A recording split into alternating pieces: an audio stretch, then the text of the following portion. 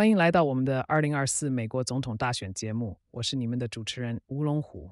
今天我们看到美国民众对经济的看法正在逐渐回暖，尤其是在通货膨胀放缓的背景下，消费者信心指数达到了二零二四年五月以来的最高水平。这一变化不仅反映了人们对耐用品购买条件的改善。也让选民们对副总统哈里斯在好即将到来的选举中击败特朗普的机会充满期待。与此同时，教皇方济各也对即将到来的美国总统选举发表了看法，指出选民面临着在特朗普和哈里斯之间选择较小的邪恶的困境。他批评了特朗普的反移民政策和哈里斯对堕胎权的支持。呼吁选民在投票时要认真思考自己的良知。最后，拜登政府决定对一些中国商品加征关税，这一举措将于九月二十七日生效。这一政策旨在应对中国的不公平贸易行为，并促进国内制造业的发展。虽然提高关税可能保护国内产业，但也可能导致消费者价格上涨。尤其是在二零二四年大选临近之际，相关讨论愈发激烈。请大家继续收看详细内容。CNN 报道，随着通货膨胀放缓，美国民众对经济的乐观情绪显著提升。根据密歇根大学最新的消费者调查，民众的经济态度在本月上升了百分之二，打破了持续几个月的平稳状态。调查显示，消费者对耐用品的购买条件感到改善。部分原因是价格的相对有利。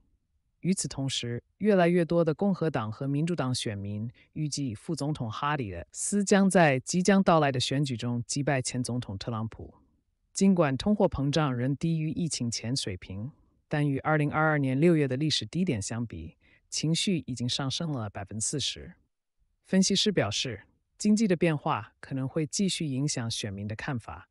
尤其是在即将投票的十一月，在同一天的新闻发布会上，教皇弗朗西斯对美国选民在即将到来的总统选举中面临的选择进行了批评，称这是一场二者皆恶的选择。他提到，特朗普的反移民政策、哈里斯对堕胎权的支持都是反生命的。他呼吁每个人都应认真思考这个道德困境。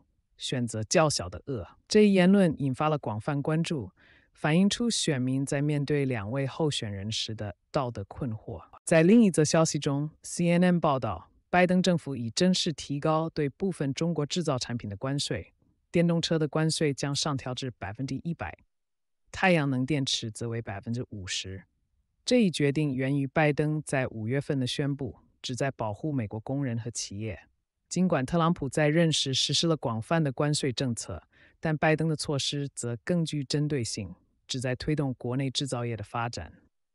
分析人士指出，虽然关税在政治上可能受欢迎，但经济学家普遍认为它们是一种代价高昂的工具，未必能如预期那样促进国内产业。随着2024年选举的临近，关税问题将成为两位候选人间争论的焦点。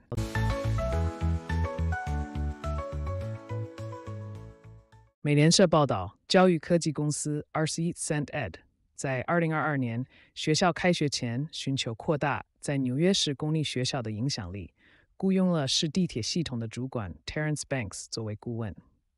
值得注意的是，Terence 的哥哥 David Banks 是纽约市的教育局长。在短短一个月内，RC Sent Ed 便与教育局长进行了私人会晤，随后获得了超过140万美元的教育部门合同。几乎是公司之前总额的三倍。然而，三兄弟的关系引发了联邦调查，调查内容尚未公开，但涉及到多名市高官的职务行为和利益冲突问题。尽管三兄弟否认任何不当行为，但正是府监督机构指出，他们的重叠工作可能违反了利益冲突的相关规定。雅虎美国报道，乔治亚州的防守后卫 Daniel Harris 因交通违规被捕。他被指控多项轻微交通违法行为。自2023年1月球队的两名成员因街头赛车事故去世以来，球队中已有超过25人因交通违规被逮捕或处罚。这一系列事件引起了球队教练 Kirby Smart 的关注，他承认球队在处理这些问题上存在不足，并表示这些事件令人失望。Harris 在赛季初表现良好，尚不清楚此次逮捕将如何影响他在即将到来的比赛中的出场状态。雅虎美国还报道，参议员 J.D. Vance 将于下周前往北卡罗来纳州，讨论拜登总统及副总统哈里斯对经济的影响。Vance 的演讲将着重于食品价格和住房市场对当地家庭和农民的影响。尽管北卡罗来纳州被视为关键战场，特朗普的竞选团队在面对哈里斯的挑战时，开始加大在该州的活动力度。近期民调显示，哈里斯在该州的支持率逐渐上升，这使得特朗普团队对北卡的关注度提升。Vance 的演讲也成为了特朗普竞选活动的一部分。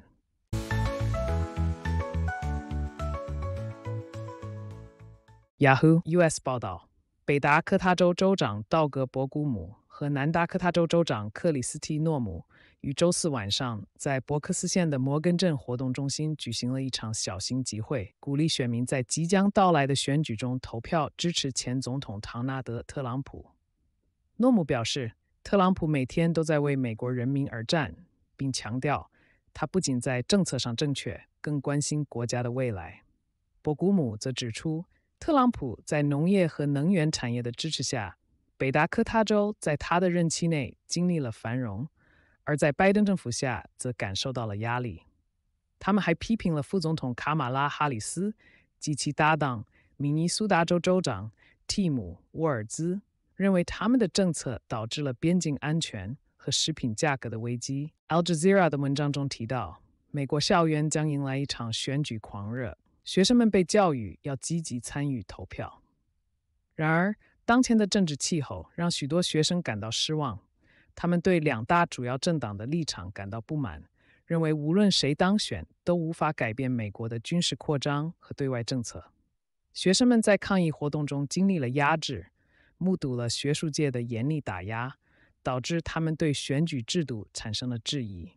他们认为投票已成为一种形式，而真正。的变革往往需要通过组织和教育大众来实现。这一时刻为教育者提供了挑战与机遇，让他们有机会教授历史上通过集体行动带来变革的经验。BBC 报道，塞恩·布朗的家人对政府拒绝进行公开调查表示沮丧。布朗在一九九七年被忠诚派绑架并枪杀，家人认为政府忽视了高等法院法官的明确指示。决定向法院提出法律挑战。北爱尔兰秘书希拉里本对此表示同情，但认为公开调查不是最佳解决方案。布朗的家人希望通过法律手段继续追求正义，并计划在九月二十六号进行司法审查。他们强调，这只是他们寻求正义旅程的开始，不会放弃。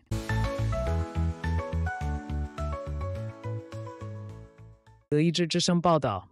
针对海地移民的虚假信息正在蔓延，毫无根据地将吃宠物的指控与伏都教仪式联系在一起，形成了一种持续数十年的城市神话。最近，俄亥俄州的斯普林菲尔德因一场针对海地移民的虚假宣传而引起广泛关注。社交媒体上流传着关于海地移民偷窃居民宠物和捕捉野生动物作为食物的毫无无根据的指控。尽管当地当局已对此进行澄清，前总统特朗普在总统辩论中提及这些指控后，这一叙述却愈加传播。社交媒体用户进一步声称，像猫这样的动物在海地伏都教中常被牺牲，混淆了事实。实际情况是，传播的图片和视频都被断章取义，甚至有些 AI 生成的图像也加剧了这一虚假信息的传播。专家表示。伏都教的动物牺牲仅限于可食用的动物，如鸡和山羊，猫和狗并不在此列。历史上，伏都教也因美国对海地的误解而受到污名化，形成了对海地人的偏见。与此同时，其他拉丁美洲移民也面临类似的无端指控，显示出在2024年总统选举期间，优异言论中充满了种族歧视的言辞。谢谢您的收看。